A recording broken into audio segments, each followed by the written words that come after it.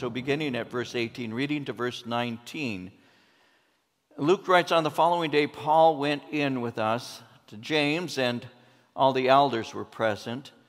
When he had greeted them, he told in detail those things which God had done among the Gentiles through his ministry.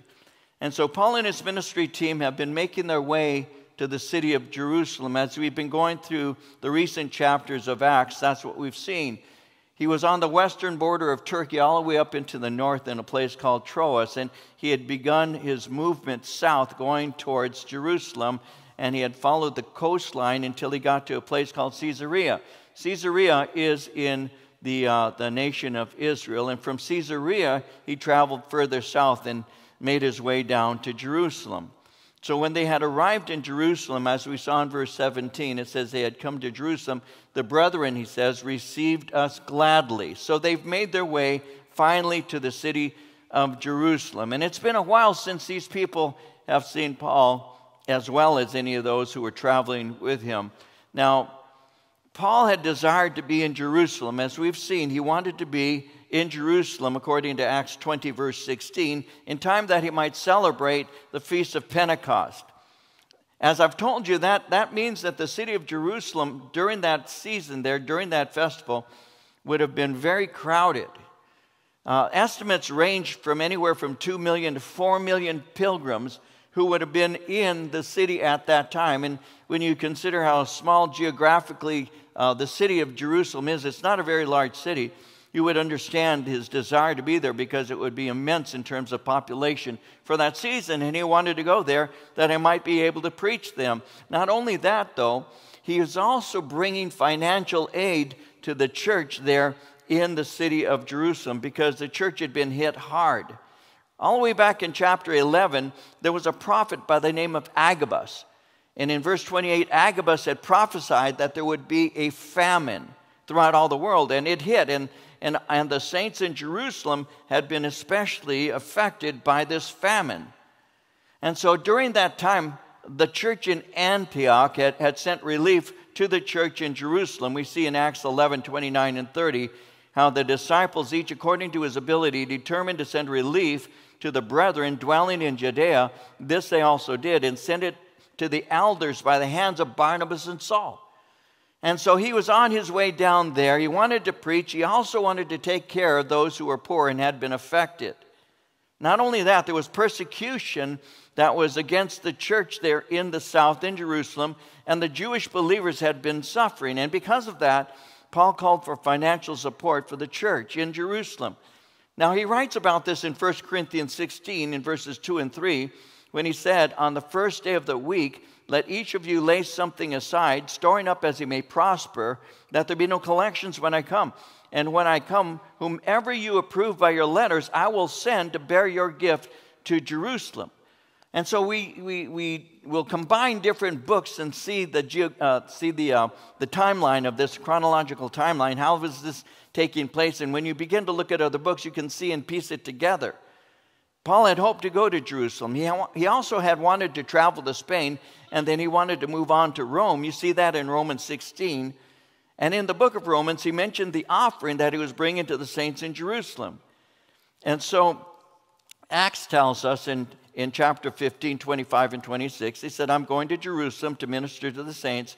It pleased those of Macedonia and Achaia to make certain contributions for the poor among the saints who are in Jerusalem. So Paul has finally arrived and he's able to care for the poor saints in the city.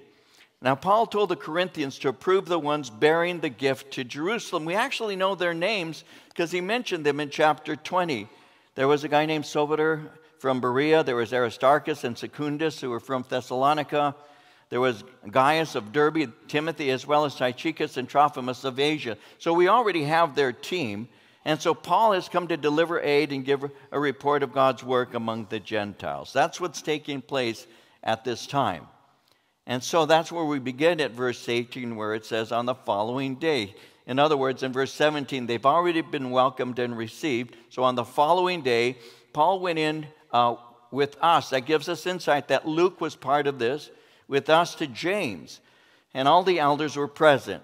And so I want to give you a couple of insights in this as we begin. So that, uh, that would have been either on the day of Pentecost or close to the day of Pentecost. The city again is filled with all these pilgrims. It's crowded, it's very busy. But Paul has come to speak to a man by the name of James. James is leading the church there in Jerusalem. This James has already been mentioned. We've seen him already. He's a brother of Jesus. He is, uh, he is mentioned in uh, Matthew 13, Galatians chapter 2, as well as 1 Corinthians 15. And so James is a presiding elder over the church there at the city of Jerusalem. So Paul and his team have come to meet with him, as well as the leaders, as well as the church elders.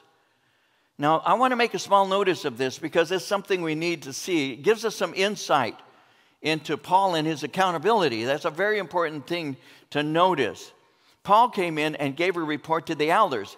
In other words, he's informing them of what is taking place uh, amongst the Gentiles, especially. Now, we've seen him do that already. We saw when Paul had left Antioch on his first missionary journey that he had returned with a report. Acts 14 27 says, on arriving in Antioch, they gathered the church together and reported all that God had done through them and how he had opened a door of faith to the Gentiles. We saw it again when God was moving uh, amongst the Gentiles and Paul had gone to Jerusalem. Uh, he and Barnabas, a team went, and a team went to discuss what God was doing among the Gentiles. Acts 15, verse 4 says, On their arrival in Jerusalem, they were welcomed by the church and apostles and elders to whom they reported all that God had done through them. So I want to make one quick statement, and it's not a major statement, but it's a point for us all as a church to understand. One of the marks of a false teacher, one of the marks of a false teacher is the lack of accountability to others. Every spiritual leader, myself, every spiritual leader needs accountability, or else we become a dictator, a tyrant. We can easily flow into false teaching. And Paul was a man under, under orders, he was a man who was accountable. Now, he wasn't accountable to men as if these men meant something in terms of they're greater than our not. It's nothing like that at all because he makes that very clear when he wrote to the galatians in chapter 2 verse 6 he said god is not a respecter of persons. What he's what he's doing though is he's showing biblical accountability.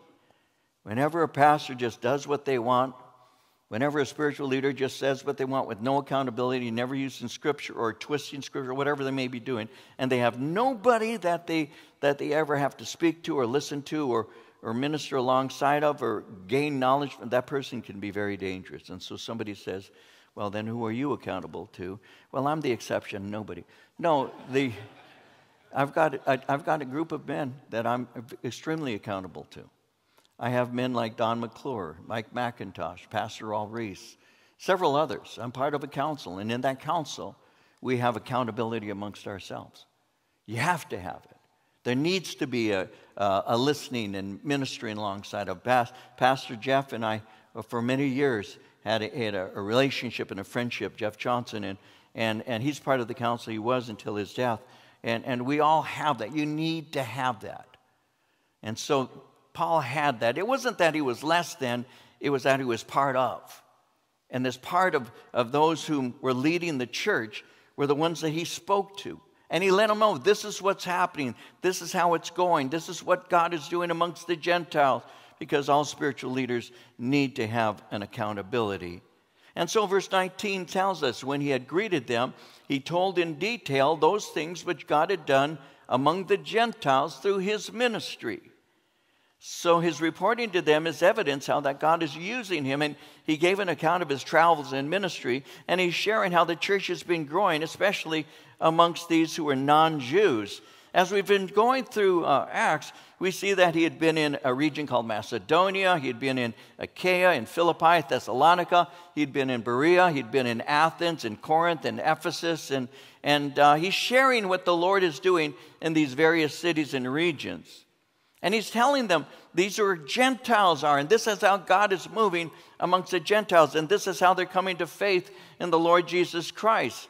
Remember, there may have been residual reluctance on the part of the church in Jerusalem, because the church in Jerusalem, uh, there were those who were trying to incite the church to, to, to force the Gentiles to become first full Jews and then to enter into the grace of God. And, and Paul had already been dealing with that. They had been trying to bring the Gentiles under the law of Moses, and some perhaps were still trying to do so. And so as he's there, he's giving an account. This is what God is doing amongst the Gentiles. Well, as they hear that in verse 20, they glorified the Lord and, and they said to him, You see, brother, how many myriads of Jews there are who, who have believed, Uh, but they have all been informed about you that you teach all the Jews who are among the Gentiles to forsake Moses, saying that they ought not to circumcise their children nor to walk according to the customs. And so they're having this conversation as to what is taking place. And so at first they, they, they rejoice. James and the elders rejoice, but they also begin to speak concerning what's taking place. Now, they're not speaking only of Jerusalem, they're speaking of Jewish believers in general. And he says in verse 20 that they are all zealous for the law. In other words, they believe that certain aspects of the law are still to be observed. They're continuing to observe the feasts and the Sabbaths, dietary laws and rituals and things. He says this is something that they continue to do because these were things that were given to them by God. And they're honoring Him by observing them. And that's why in verse 21 it says, They have been informed about you and what you're teaching the Jews. And so James now approaches the problem. This is what we'll be looking at in a moment. The Jews have been told that you teach all the Jews to forsake Moses. Now, when it says they've been informed, these lies have been drilled into the heart of these Jews. The ones doing this were enemies of the cross and opponents of the Apostle Paul. And they're saying that he is teaching the Jews to forsake Moses and, and abandon their heritage. Paul didn't teach them to abandon the law. Paul taught them to properly understand its purpose, to interpret it correctly. He knew that in doing so, Jewish people would come to understand who Messiah is. Remember, Jesus in Matthew 5 17 and 18 said this Do not think that I came to destroy the law or the prophets. I did not come to destroy, but to fulfill. For assuredly I say to you, until heaven and earth pass away, one jot or one tittle will by no means pass from the law till all is fulfilled. In Romans 10, Paul said it like this in verse 4. He said, Christ is the end of the law for righteousness to everyone who believes. Christ is the end of the law means the law all points to Jesus Christ. In Galatians 3:24 through 26, he said the law was put in charge to lead us to Christ that we might be justified by faith. Now that faith has come, we are no longer under the supervision of the law. You are all sons of God through faith in Christ Jesus. And so Paul came to teach the Jews that Jesus fulfilled the requirements and that you don't have to follow these particular ordinances to have a relationship with God. And so he's teaching them concerning those things. So, as for teaching them to cease following Jewish customs, that wasn't, that wasn't true. As long as they didn't violate the spirit of grace, it would have been acceptable. Romans 14, 5 and 6. One person esteems one day above another, another esteems every day alike. Let each be fully convinced in his own mind. He who observes the day observes it to the Lord. He who does not observe the day to the Lord, he does not observe it. He who eats, eats to the Lord, for he gives God thanks. He who does not eat, to the Lord he does not eat, and gives God thanks. So he wasn't bringing them under bondage. He was teaching them elements of it that they could live by, understand, and all, but that they're not saved by observing it. That was the point he was making. But these people are saying to uh, forsake it. Don't circumcise your children. Don't walk according to the customs. Well, what then? Verse 2 The assembly must certainly meet, for they will hear that you have come. Something has to be decided. The Jews undoubtedly are going to meet about this. They're going to investigate you. They'll investigate your way of life, Paul, and they're going to make a judgment concerning you. And so he's suggesting at this point a compromise to head off a confrontation. Now, that's going to require humility on the part of Paul to avoid a problem. And that's something Paul would agree to. Why? So that he might win them to Christ. In 1 Corinthians 9, verses 19 and 20, Paul said it like this He said, Though I am free and belong to no man, I make myself a slave to everyone to win as many as possible. To the Jews, I became like a Jew to win the Jews. To those under the law, I became like one under the law, though I myself am not under the law, so as to win those under the law. To the Jew, I became as a Jew. I understand the Jews. I am a Jew. I understand all of the things related to that. When he gives his testimony, very, very often he'll mention who he was, his heritage, his training, and everything. Philippians 3 gives a very clear uh, picture of all of that. He was under law. He circumcised the eighth day from the tribe of Benjamin. He speaks concerning those things. In, in, in the righteousness that pertains to the law, he said, I was found blameless. So he's more than willing to speak concerning those things so that they might understand that he understands them, that he identifies with them. That's a very important thing when I first got saved. I would speak to whomever, and Marie's the same way to this day. When we talk to people, and there, because we had a Catholic background, when we would talk to people, and they begin to share with us, both of us have done this. We'll say, I get it. I was raised that way. I understand. We're identifying. It's not that we're saying that all of the things that we were taught are correct, it's simply saying, I understand where you're coming from. And Paul understood that. And so he would speak to the Jews as a Jew. He understood everything about it. He was a rabbi. He was one of the premier elders in the rabbinic tradition of his day. He was a, he was a scholar of scholars. He was able to do that. So to the Jew, I became as a Jew so that I might win the Jew. I became as, as all men so that I might, by all means, save some of them. I'm willing to do that, and that's the point he's making here. And so they're talking about this now, and uh, they're saying, We've got to do something. They're going to hear that you've come. Verse 23 Therefore, do what we tell you. We have four men who have taken a vow. Take them and be purified with them. Pay their expenses so that they may shave their heads, and, and that all may know that those things of which they were informed concerning you are nothing, but that you yourself also walk orderly, keep the law. But concerning the Gentiles who believe, we've written and decided that, that they should observe no such thing, except that they should keep themselves from things offered to idols, from blood, and, and from things strangled, and from sexual immorality. And so they're giving him directions. Now, notice again, verse 23 we have four men who've taken a vow. These are Jewish converts to the Christian faith. They've taken what is called a vow. A vow is a separation, it's an oath of separation, total separation to God. And the vow that they're referring to, you find in the Old Testament book of Numbers, it's called the vow of the Nazarite. It's a voluntary vow of dedication to God completely. Men and women could take it. It usually had a, a time phrase, a, a frame of around 30 days. And when they had taken that vow, they were supposed to observe it and uh, observe certain things. They, they abstained from any kind of alcohol or grapes. They, they didn't cut their hair. They uh, avoided contact with dead bodies. Um, and so, as I mentioned, there were usually a, a restriction, a time, a time frame, normally 30 days. But there were others who took this vow of the Nazarite and actually uh, lived it out in a longer way. Samson's a good example of it, and John the Baptist also had taken such a vow. Now, when he says in verse 24, take them and be purified with them, pay their expenses, when this vow had been completed, there would be offerings made, the hair would be cut, it would be placed on the altar and, and dedicated. And when they shaved their head, it was uh, an emblem or a, uh, a mark of them ending the vow.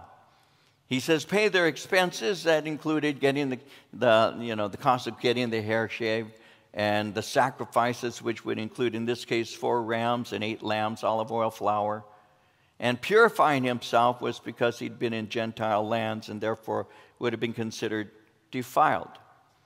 Now he says in verse 25 concerning the Gentiles who believe, we have written and decided that they should observe no such thing except that they should keep themselves from things offered to idols, from blood, from things strangled and from sexual immorality. We've already seen this, we've already decided this, and he already knows that. We saw that in Acts 15. He's saying Gentiles are not under the law. So, what Paul is doing is actually an exception as a Jewish believer to show the Jews that he's not guilty of their charges. So, all of this is leading up to verse 26. Paul took the men the next day, having been purified with them, entered the temple to announce the expiration of the days of purification at which time an offering should be made for each of them. Now, when the seven days were almost ended, the Jews from Asia, seeing him in the temple, stirred up the whole crowd and laid hands on him, crying out, Men of Israel, help! This is the man who teaches all men everywhere against the people, the law, and this place. And furthermore, he's also brought Greeks into the temple and has defiled this holy place. For they had previously seen Trophimus the Ephesian with him in the city, whom they supposed that Paul had brought into the temple.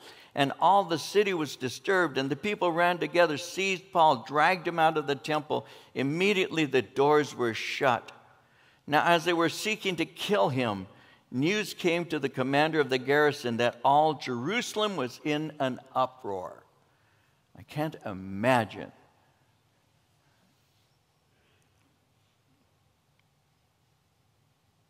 I don't know about you, but that's a terrorizing kind of thing. That's terrifying.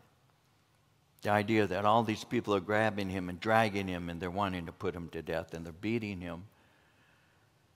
Now let's look at this. We know that as we've been going through the book of Acts, that there have been antagonists, Jewish antagonists, who have been trailing, who've been following him all the way back in chapter 13 when he had preached in a place called Pisidian Antioch and had made many converts. It had caused great opposition, not only from the Gentiles, but also from the Jews. And that's when we saw him having to leave and he went to another place called Iconium. And that caused unbelieving Jews to rise in opposition. And again, they were stirring up the Gentiles. In chapter 14, 1 and 2, it says it happened in Iconium that they went together in the synagogue of the Jews and so spoke that a great multitude, both of the Jews and the Greeks, believed. But the unbelieving Jews stirred up the Gentiles and poisoned their minds against the brethren. There was a violent attempt uh, made to stone him. They fled to Lystra. Acts 14 19. Well, in Lystra, Jews from Antioch and Iconium came, and having persuaded the multitudes, they stoned Paul and dragged him out of the city, supposing him to be dead. This may be the same group that has been pursuing him. They recognized him and they stirred up the crowd and they began to cry out the false charges that had been circulated against him. Now, you're going to have to see something here as we look at this. Verse 28 Men of Israel, help. This is the man who teaches all men everywhere against the people, the law, and this place. And furthermore, he also brought Greeks into the temple and has defiled this holy place. Now, why is that a big deal? No Gentile was allowed to enter into the restricted areas of the temple. There's actually a sign that would be posted warning Gentiles not to enter into this restricted place. They actually, archaeologists actually found a complete tablet. They found it in 1871, and it's now in the uh, museum, the Istanbul, Istanbul Archaeology Museum.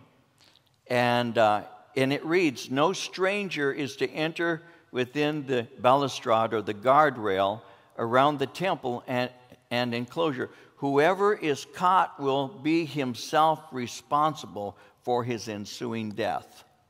That's how serious it is. You may not pass a certain place, and if you pass that place, we will kill you. And in this case, Rome allowed the death penalty to be enacted. That's what's taking place. The whole city, according to verse 30, is disturbed, it's provoked, it's it's, it's stirred up. The people are now gathering together in opposition, and it reminds us of Acts 19 when the city of Ephesus, Ephesus had, had, had come into an uproar. And what we're looking at here, and this is what I want to develop for a moment with you.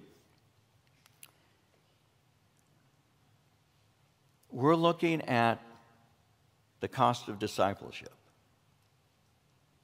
We're looking at what it really means to be a Christian.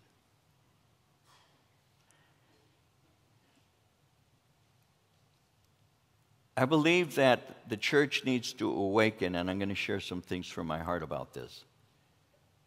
Believers need to wake up. The world is shouting its antagonism towards Christ. And Christians, many good hearted people who don't want to create tension or problems, are shutting up. And so the world thinks that it's winning the war, and it is a war for a man's soul. Well, the church is being quiet and is afraid for whatever reason. And the more we allow the world to shout us down, the more the world thinks it's in control. There's a cost to following Christ, and I don't know why we don't remember that. I don't know why it is so important for, for, for, for Americans, and I see a lot of this in generations that are coming up now, who just don't want to, to, to make other people uncomfortable when they themselves don't seem to be as uncomfortable as they should be over the things that are being said or done. And Paul, Paul is giving to us a picture of what it means to be fully committed to Christ. Not everybody's going to go through this. Not everybody's going to be mobbed and, and, and, and eventually beheaded. Not everybody's going to go through this, but it shows us how Paul was. It shows us uh, what it means to be a Christian, how to remain faithful in all things, even though times can be frightening and even dangerous. And, and what he's going through, is evidence that he's an actual follower of Christ. As I was preparing this, I was reminded of, of, of, a missionary. Everybody in my generation would have remembered this name. Perhaps the name remains to be uh, famous and remembered even in this generation. I don't know. But David Livingstone, who was a missionary to Africa. And I, I began to remember this man. He, he, he, he lived in the 1800s from 1813 to 1873. And David Livingstone, he's got a beautiful story, but David Livingstone spent something like 32 years evangelizing in Africa from the south going up to the north. And I read something that I extracted, and I'll just read it to you, speaking concerning his ministry there in Africa. And, and this writer says the field was difficult and his wife and children were often separated from him. Eventually, his wife was able to join him in Africa. But on the day she touched African soil, a crippling African disease hit her, and she later died in his arms. Eventually, he became so sick that they had to carry him on a stretcher as he preached. One night, it was cold and damp and raining, and his heart began to pound more and more weakly, he asked one of his helpers not to disturb him that night because he was too tired. His assistant took him into a little hut and put him on the bed. He saw Livingstone shuffling out of bed, getting down on his knees and praying. The native stood at the door of the, of the hut to keep him from the beasts as the rain was pounding in. And somebody came in an hour or two later and said, I want to see the master. He said, No, he's too tired. Could you wait until morning? He wanted to see him. So they went in, and when they saw he was praying, they came out. They went in a few hours later, and he was still praying. So once again, they came out. Finally, they entered in one more time, and he was there, motionless on his knees. His helper went up to him and, and spoke to him. But Livingstone had breathed his last and died exactly the way he had lived in the presence of the Lord. His heart was removed from his body. His body was shipped to England and buried in Westminster Abbey in April of 1874. And those who had sent his body to England said, His body may be buried in England, but his heart will always be in Africa. Livingstone was a man who was fully committed to his mission. On one occasion, a mission society had written him asking, Have you found a good road to where you are? If so, we want to send other men to join you. And Livingstone replied, If you have men who will come only if they know there's a good road, I don't want them. I want men who will come if there's no road at all. When we talk about the cost of discipleship, today people think the cost of discipleship is showing up once a year to a church service or occasionally being part of something. The cost of discipleship is picking up your cross daily and following Him. It's counting the cost and being aware that to be a believer in Jesus Christ, especially in unpopular days, can even be a very dangerous thing. The Apostle Paul didn't have a problem with that. He said, I'm not only willing to go, I'm willing to die for the Lord Jesus Christ. And this is what discipleship is. He knew what was waiting for him everywhere he is going, we've already seen this, people were saying, Don't go there. Agabus had recently told them, Don't go there. There's a cost. And, and in Acts 20, we saw in verses 22, 23, he said, Now I go bound in the Spirit to Jerusalem, not knowing the thing that will happen to me there, except the Holy Spirit testifies in every city, saying that chains and tribulations await me. When he was saved, God made it clear that he was going to suffer many things from the very beginning, in, in Acts 9, we saw when the Lord had spoken to Ananias in, in chapter 9, verses 15 and 16. And, and the Lord said, Go, he's a chosen vessel of mine to bear my name before Gentiles, kings, and the children of Israel. I will show him how many things he must suffer for my name's sake. And Paul was willing to do that. He knew that his personal sufferings had a purpose in the plan of God. In 2 Timothy 2:10, he said, I endure all things for the sake of the elect that they also may obtain the salvation which is in Christ Jesus with eternal glory. I'll go through anything so that they may know the Lord. And on a personal level, he knew that, they, they would, that he would receive a personal reward. In 2 Corinthians 4.17, he knew his suffering wasn't in vain. He said, Our light and momentary troubles are achieving for us an eternal glory that far outweighs them all. Faithfully following Christ is not without a cost being exacted. And some don't understand such a cost. And when they hear it, they don't want to pay it. But the fact is that in the pursuit of the Lord, there's a picking up your cross daily and dying daily. He knew that he was going to pay the ultimate price. He made it clear. When he was speaking to the elders of Ephesus in Acts 20, 20 through 24, he said this Now I go bound in the Spirit to Jerusalem, not knowing the things that will happen to me there, except that the Holy Spirit testifies in every city, saying that chains and tribulations await me. None of these things move me, nor do I count my life dear to myself, so that I may finish my race with joy and the ministry which I received from the Lord Jesus to testify to the gospel of the grace of God. We saw in, in chapter 21, verses 11 through 14, how, how Agabus had prepared him for this time. And he had told him, You're going to be delivered into the hands of the Gentiles. And, and, and when those hearing what was being said, remember how they had begged him, don't go to Jerusalem. But in, in 21.13, Acts 21.13, he said, what do you mean by weeping and breaking my heart? I'm, I am ready not only to be bound, but also to die at Jerusalem for the name of the Lord Jesus. That's Christianity. This is Paul's beginning of the end, if you will. He's been desiring to be here. He knows what's awaiting him. God has been letting him know in every city that chains and tribulations are awaiting you. Agabus, the prophet, says, Don't go. This is what's going to happen. Basically, the people cry out say, Don't go. I'm willing to go, he said, and I'm willing to die. This is what we do. But he's getting the opportunity to do that which he desired. I need to go to Jerusalem. He's going to have that opportunity now. He's going to speak to them. We need, we need more believers who are willing to open our mouths when necessary. People, people who may be visiting this church You may be thinking, well, that's easy for you to say. You just stand up, talk to us, and you go into your office and then play golf the rest of the week. I don't play golf. I gamble. No, I don't do that.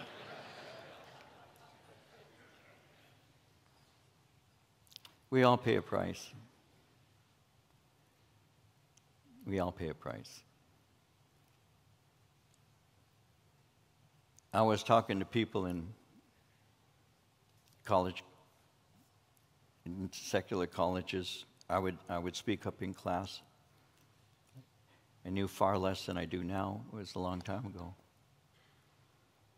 But I had, I had prayed and I had said to the Lord, if nobody will speak, then Lord, I will. That was something that I said very early in my walk with the Lord. As shy as I am, as quiet as I am, because those who, those who may know me on a personal level know that I, I'm a very quiet person. I don't talk a lot. But I do when I need to. And I learned to do that a long time ago, guys. To sit in a class and to hear the things that were being said in secular college and then the Spirit would be stirring within my heart, and my heart would begin to pound, and I would think, nobody's speaking up for you. Nobody's saying anything. Somebody has to. Here am I, Lord. Use me. I've done that, not just in this pulpit, not just at this age. I've done that since I got saved. Why? Because the gospel's that important. And I don't care if people like me or don't. Listen, I was a hippie. Everybody hated us. They hated us. Even Pastor Chuck hated hippies. You know, those get a job, take a bath, cut your hair, put on some shoes. Everybody may know if they saw the Jesus Revolution or if they lived during that time, will know that the hippies were not liked. We were rejected. We were dirty. We did drugs. We were immoral. We were the offscouring. And America didn't like us. And what did God do? He grabbed the hearts of kids who are willing to speak up and say, I don't like this, just like He did with Paul. Because Paul was somebody who was breathing out threatenings against the Christians. And what did God do? God changed him, and he still went out. And he preached with the same fervor, but this time he was preaching the love of God. And he did the same kind of thing with, with my generation, those of us who got saved during that movement, that revolution. And so we already were hated. Doesn't matter. As long as God loves you, it doesn't matter who doesn't. And that's how it worked with us. God loves me. I know who I am in Jesus Christ. You guys need Jesus. And we did that. And we still do that. We still tell people, you need the Lord Jesus Christ. He forgives sins. He cleanses you. He'll make you new. We, we, you don't need the drugs. You don't need the promiscuity. You don't need those kinds of things. What you need is Him. See, and that's that. Paul had this heart. He saw all these millions of people who were there celebrating feasts that Christ had fulfilled. Jesus fulfilled these things. And he wanted, he wanted to tell them. He loved these people. And they took him and they beat him and they dragged him and they're trying to kill him for telling them that God loves them. They're telling them they need to turn to the Lord. And they're upset. Notice what's happening as it says in verse uh, Verse 30 The city was disturbed. The people ran together. They seized Paul. They dragged him out of the temple, shut the doors, and they were seeking to kill him. So, in verse 32, they took soldiers. The centurion took soldiers, or rather, the commander took soldiers, and centurions ran down to them. They saw the commander and the soldiers. They stopped beating Paul. They were trying to beat him to death. The mob stopped. Paul is there. He's being dragged with soldiers. The commander, verse 33, begins to question Who is this? What has he done? And in verses 34 through 36, they're, they're crying out one thing, some another. It's so loud he can't hear what they're saying. So they're moving him. They're taking him to the north, a little to the west, to where the, the, the, the uh, guards are stationed. And, and the people are following, and they're crying out behind, and they're violent. It was chaotic. It's a small area, and you've got all these people. The Temple Mount altogether is about 37 acres. And so he's being led up there in verse 37. Paul was about to be led into the barracks. He said to the commander, May I speak to you? And he, he replied, Can you speak Greek? Are you not the Egyptian who some time ago stirred up a rebellion, led the 4,000 assassins into the wilderness? Paul said, I'm a Jew from Tarsus in Cilicia, a citizen of no mean city, and I implore you, permit me to speak to the people. Well, the commander is surprised that Paul is speaking Greek to him. He thought that he was a false prophet who had, had earlier led an insurrection. Uh, a, a Jewish historian by the name of Josephus speaks about a false leader who had led the Jews to Mount, the Mount of Olives to attack Jerusalem. And in chapter 4, we're going to be introduced to an official named Felix. And it was this Felix who defeated this insurrectionist, and he killed four of them and captured 400 of them and captured 200. But the leader of the insurrection had escaped, and so he's saying, Aren't you that leader? And he says, No, verse 39, I'm a Jew from Tarsus. I'm not an Egyptian, I'm a Jew, but I'm also a Roman citizen. So he exercises his rights and he says, Give me an opportunity to speak. And so it says in verse 40 when he had given him permission, Paul stood on the stairs, motioned with his hand to the people. And when there was a great silence, he spoke to them in the Hebrew language, saying, and we'll see that next week.